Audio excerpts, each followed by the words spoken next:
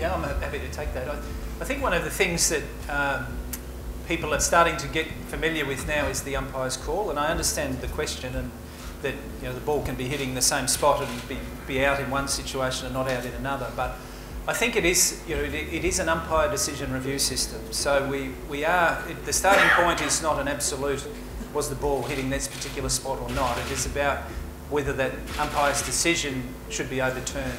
And I think that when it came in, it was uh, was much about the way the, the game had been umpired historically, and that um, you know, balls that, are, that were around the margins of the stumps had been given the benefit of the doubt generally, and that if you um, and that when we when the protocols were developed for, for DRS, it respected the way that umpires had historically dealt with those decisions. So that's why it's that's why it's remained. Uh, and I think that the cricket fans around the world are starting to understand or have, have understood the umpire's call reasonably well now.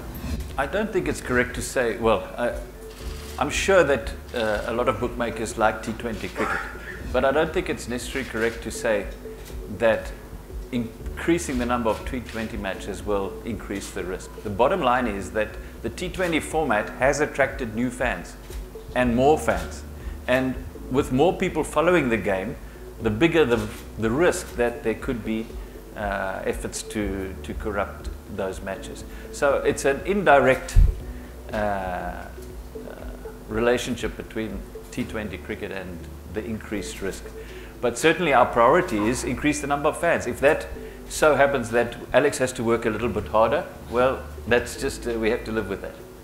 Uh, my point was not that T20 attracts corruptors, but the explosion of T20 events, including some private events, and I mentioned some events that are designed for the whole purpose of corruption, has presented a new opportunity to corruptors. I think they do think it's an interesting format in that you might be able to affect a small part of it for a yield from illegal bookmaking or corrupt bookmaking, but I completely agree with David, and I said it in my presentation, the, the expansion of T20 is bringing in more countries, more players, more fans, and is a brilliant development route.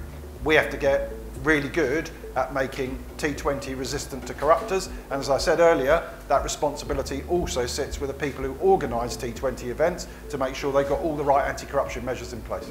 I'd also like it to be in the 2028 Olympics. But the bottom line is we first, we've got no chance of getting cricket into the Olympics unless we are united as a sport. And uh, at this stage, we need to convince the BCCI that it is um, a good thing for cricket to be in the Olympics from all aspects. It will generate uh, more fans, more growth of the game. The game will get bigger.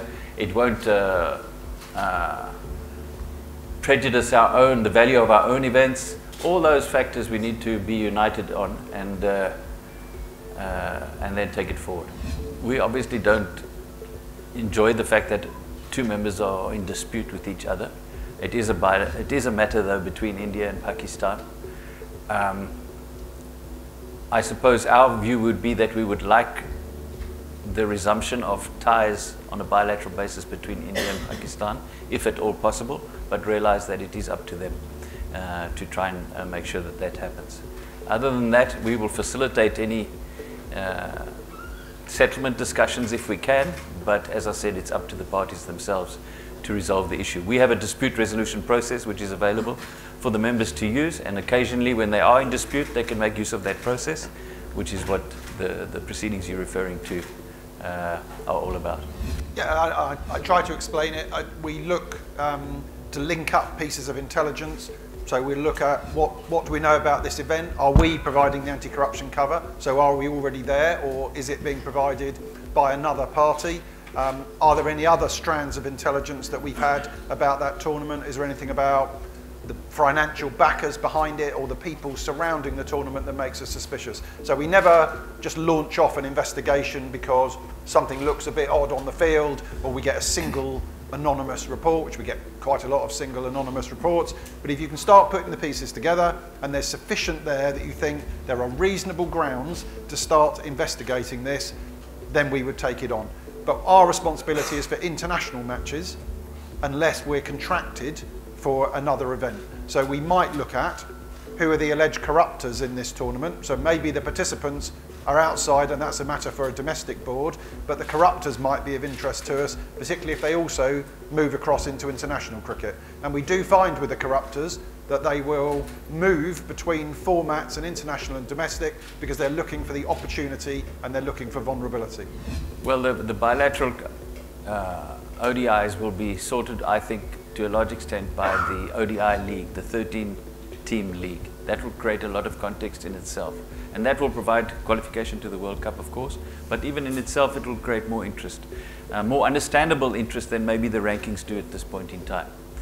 Um, as far as ODI cricket is concerned, the research shows that it's still an extremely popular format of the game. Uh, I myself love going to a full day's cricket. A day at the cricket is and a 50 over game, uh, provided it's competitive, is compelling uh, viewership. So I think there's a time and place for uh, that format. Um, and uh, certainly at this stage, I'm, uh, I'm confident that it will, the World Cup will remain ever popular. And um, it will, for many years to come, be one of the three formats that we recognize at international level. The two new balls, uh, it depends who you talk to. Um, and uh, even sometimes the, the, the, same types of persons can't agree. You'll speak to one spinner and he says he enjoys the two new balls because the balls stay harder and they can get more bounce and they get more wickets. You speak to another spinner and he complains the fact that the ball is too hard and it goes too easily for six. So it's very difficult. Um, certainly, while we're using a white ball that uh, is made of leather and loses its uh, whiteness, uh, becomes very difficult to see. Reverting back to one ball would be difficult.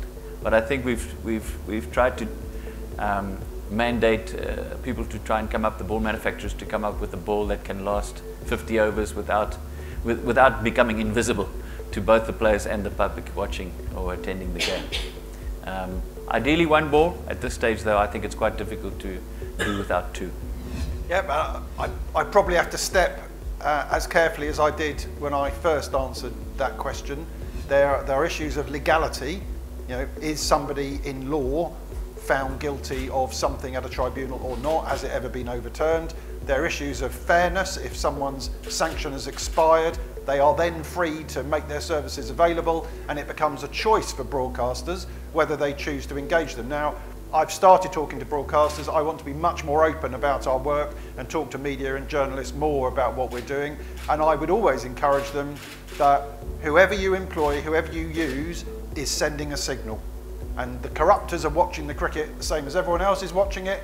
And uh, is a signal being sent that oh, it's okay, and a few years later everything's all right.